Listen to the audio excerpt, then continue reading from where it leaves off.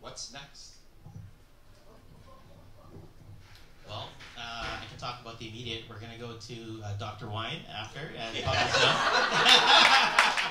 and I'd like to, uh, obviously, before we go, I'd love to meet every one of you. Honestly, on behalf of our entire family, thank you so much for taking the time uh, on, a, on a weeknight. So, maraming salamat po. Um, but what's next? I, I think Balikbayan chapter 3, I think, is the next generation. We, we were just there with our kids.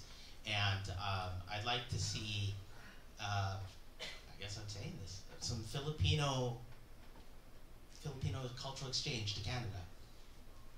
Wouldn't that be amazing? And um, some exchange, uh, cultural exchange, because it, it's not uh, Balikbayan project is is not one way. It's not. It's not. Yes, it's part philanthropic, but it's symbiotic, and I think that's the beauty of the project. This is a lifelong project. I don't know if my kids understand this yet. uh, but I'm so grateful for Paula for, for signing up for this. And uh, uh, I'd love this movie to be shared all over the world. So I need your help. Can you help promote this? Because I, I, I want to share it with, for the world. So um, I, I, I hope to continue to live to 101 and continue to keep coming back to the Philippines. If you will have me, please vote.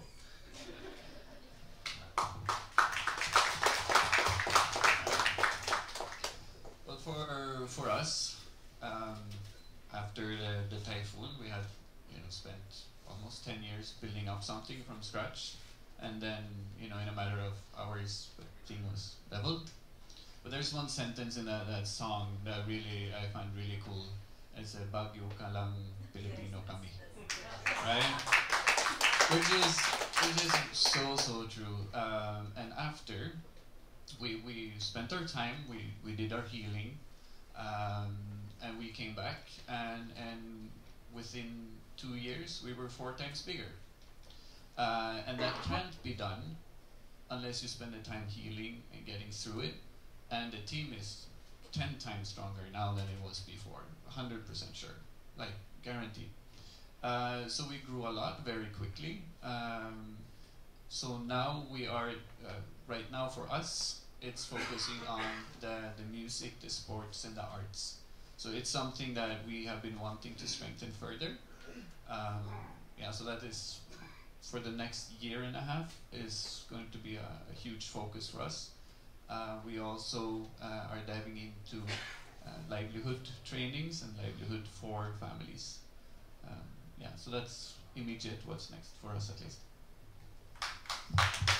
One thing to add is that Jon mentioned the dual citizenship. We would, and maybe to answer your question, is we would love to open a Qi Creative here and provide our services here. He needs citizenship for us to do it, but we would love to do that. We love being here. We come here anyway, and to, to do the work we do in Canada here is would be amazing. Any partners?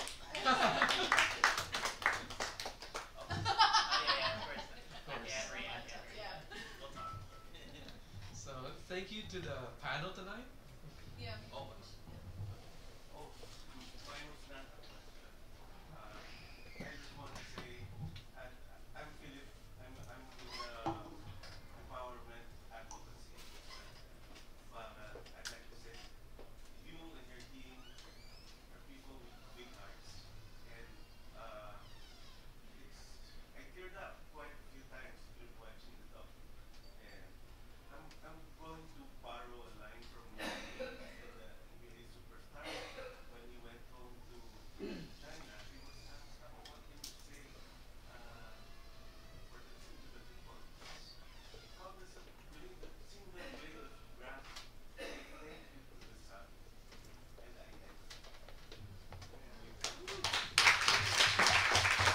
Thank you to the panel today. I think I learned tonight that human dignity is at the core of development work. I think that's what we can take away. Like, I think never forget the person that you're taking care of and also yourself, your own dignity.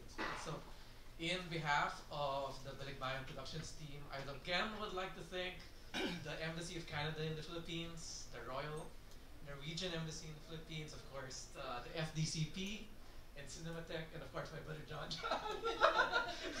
We've been planning this for like a year, or so so thank you, and now we can go to refreshments and breathe. Thank you.